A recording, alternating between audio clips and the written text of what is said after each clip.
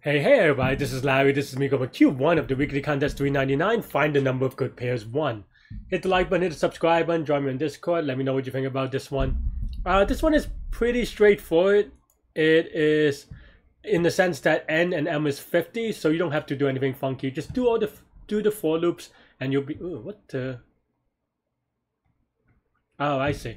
Uh, yeah, do the for loops and you'll be fine. Uh, I actually was trying to use... Um, yeah, do the for loops and you'll be fine. That was my Q3 code and I, I was putting it as, as testing, but yeah. Uh, this is going to be N times M, but pretty cheap, 50, so you should be good. Uh, and yeah, that's all I have with this one. I don't really have much to say about this one, so yeah. Uh, you could watch me solve it live in the contest now. Double problem, eh? What is... I'm trying to see what's the difference. Okay, so these are exactly the same. Okay, so let's see.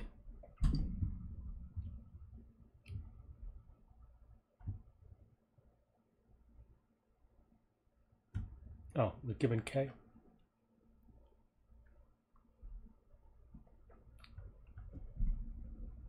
All right, well.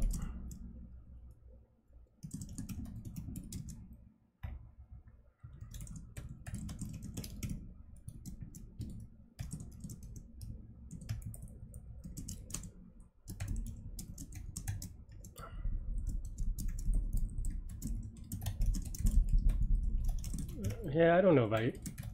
Eh, maybe should have just thought about a better solution. Uh, 5 and 2. But, but, eh, we'll worry about it when I get there. Uh, thanks for watching. Hit the like button, hit the subscribe button, join me on Discord. Let me know what you think about this problem, this contest, explanation, everything in between. Stay good, stay healthy, to your mental health. I'll see y'all later and take care. Bye bye.